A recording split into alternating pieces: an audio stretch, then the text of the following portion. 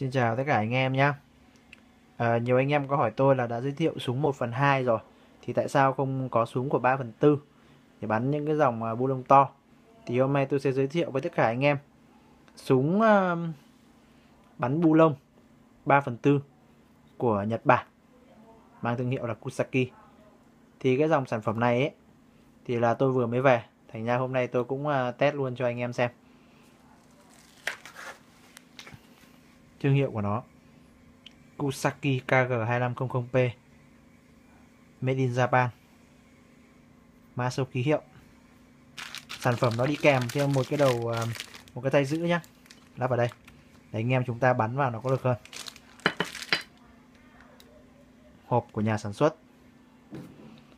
Cái sản phẩm này nhá, nó sẽ rất là đẹp, rất là tốt so với những cái dòng mà súng 3 phần tư mà của Đài Loan chưa nổi trên thị trường ấy thì con này nó là khác biệt hoàn toàn. Bây giờ tôi sẽ cầm súng lên để anh em nhìn rõ hơn về cái sản phẩm này nhé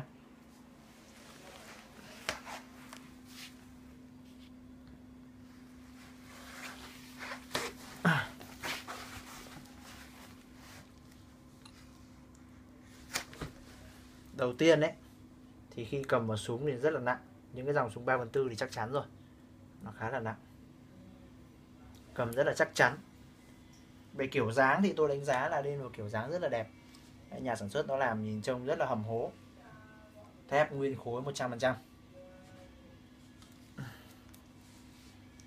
về à, thông số kỹ thuật thì là KG25P 3 phần 4 Đấy. Mắc vòng của nó là 1.400 vòng. Đấy. Tốc độ là 4.600 vòng. Bắn thì bắn 3 số. 1, 2, 3 Bên này cũng vậy. 1, 2, 3 Đấy. Cò súng khá là chắc chắn. Về riêng dòng sản phẩm này nhá Anh em đã sử dụng ấy Thì những ai đã sử dụng hàng à, của Nhật Bản rồi Thì chúng ta sẽ biết Nó là khác biệt hoàn toàn So với những cái dòng à, súng 3 phần 4 của Đài Loan hay là Trung Quốc Trôi nổi trên thị trường thì khi đã dùng con này rồi ấy, thì anh em chỉ muốn vứt cái súng mà chúng ta đang dùng hiện tại đi thôi. Rất là đẹp rất là bền rất là chắc. Sản phẩm này nhá máy móc minh trí đang phân phối toàn quốc. Anh em uh, chi tiết về sản phẩm giá cũng như là bảo hành. Thì sản phẩm này chúng tôi sẽ bảo hành một đổi một trong vòng một tháng và sửa chữa trong vòng một năm của anh em. Đấy, for day ship toàn quốc.